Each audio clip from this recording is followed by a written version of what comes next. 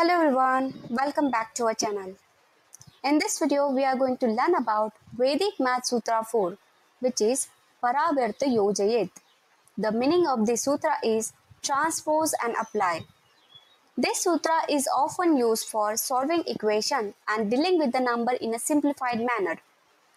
If you are new here, don't forget to hit the subscribe button and ring the bell icon for more amazing content on Vedic mathematics and much more.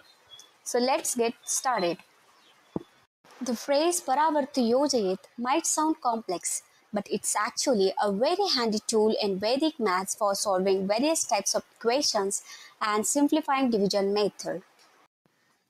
Applications First one, divisor is greater than the power of 10, that is 10, 100, 1000 and so on and starts with 1. Second application is to simplify equation. As the name transpose and apply suggests, we change the sign and apply the changed number. That is, addition will be turned to subtraction, division will be turned to multiplication and vice versa. Application 1 Division According to the Vedic Math Sutra 4, divisor should be greater than power of 10 and starts with 1. But in every example, divisor need not be just greater than power of 10. So in this case, we will convert large digit 6, 7, 8, 9 into the smaller digit 1, 2, 3, 4 by using Vinculum method. Also, if you are getting divisor starts with other than 1, then we can apply Anurupyena Sutra. So in this way, if the condition is not satisfied, then we have other methods in Vedic math. So let's take example on Vedic Math Sutra 4. Example is 432 divided by 11. For 11, base is 10. So that we separate the last digit 2 by a line which is known as remainder line. And write minus 1 here. Since 11 minus 1 equals 10, that's why we wrote minus 1 here.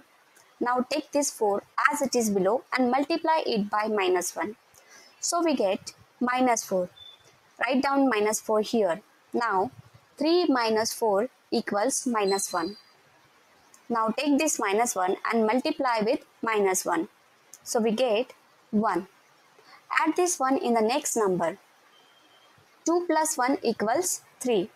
Now we got quotient as 4 vinculum 1 which is a vinculum number. So right now we need to convert this into the form of normal number. So 40 minus 1 equals 39. So our quotient is 39 and the remainder is 3. In this way you can find out answer for this kind of division. If you don't know how to convert normal number into the vinculum form or vinculum number into the normal form, then please watch level 2 video okay and the link is given in the description box. So go through it, learn the, the Vinculum method first and then apply the concept. Application 2 Solving various type of equations. Let's say we have a simple linear equation to solve. 3x plus 5 equals 14. Using conventional methods, we would subtract 5 from both sides and then divide it by 3. But with Paravartya Yojayet, we can streamline this process.